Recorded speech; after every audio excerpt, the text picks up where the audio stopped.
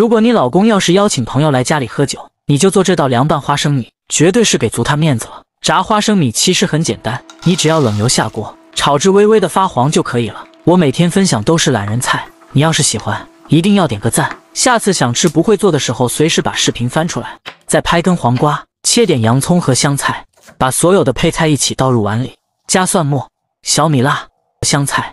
凉菜好吃的关键就是这个夏天专门做凉菜的酸辣凉拌汁。平常喜欢锻炼吃水煮菜的，只要倒上一点拌一拌，酸辣又爽口。拍上两瓶，一个夏天都够用了，就是这么简单。喜欢赶快收藏，做起来吧。